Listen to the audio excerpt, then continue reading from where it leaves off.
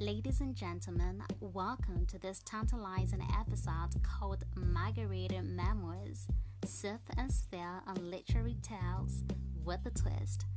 I am your host, Evelyn, and tonight we delve into the world of intrigue, strategy, and a dash of tequila infused wisdom. This is Books and Cocktails, where we mix the literary and the libations for the soft and easy connoisseurs of life.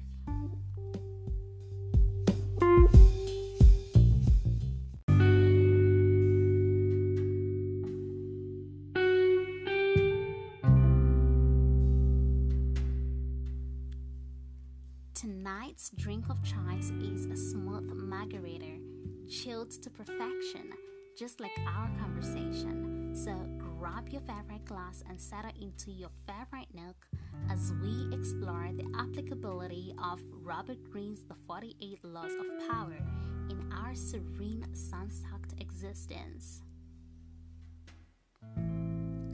Now, my dear listeners, as we embark on this journey, let's remember that power isn't always about dominance and confrontation. Sometimes it's about finesse, subtlety, and a well mixed cocktail.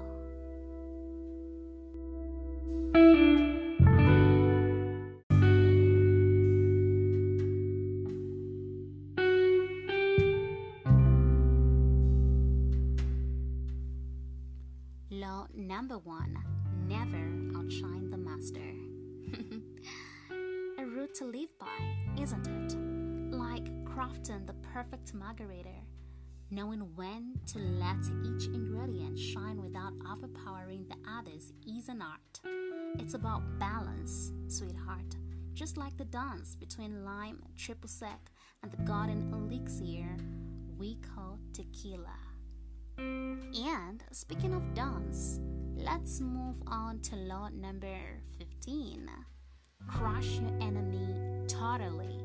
Now, before you raise an eyebrow, consider this. Sometimes your enemy is simply the chaos in your life. Crush it, eliminate it, and make room for tranquility.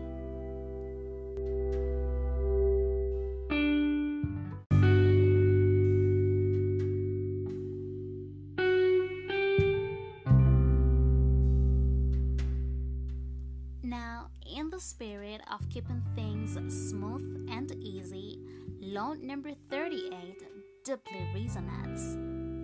Think as you like, but behave like others.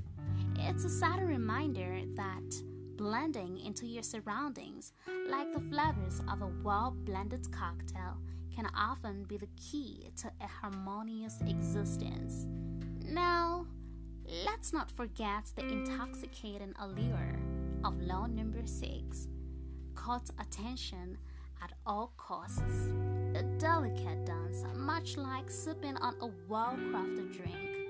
Savor the attention, but don't let it intoxicate your sense of self. Remember,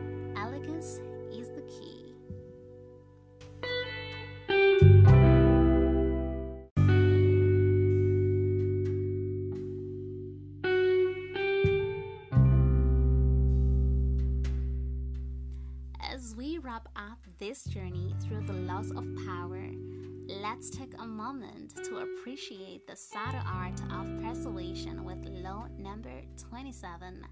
Play on people's need to believe to create a cult like following, much like the loyal following of a cherished author or a preferred cocktail recipe, creating an atmosphere of allure and charm can be a power move in itself.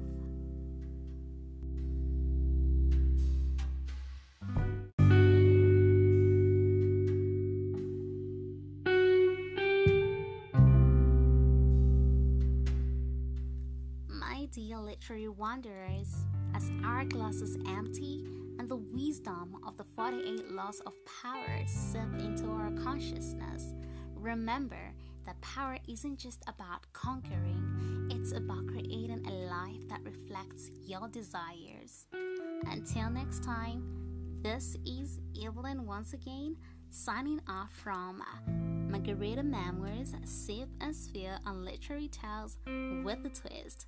May your pages be filled with tranquility and your glasses never empty. Cheers.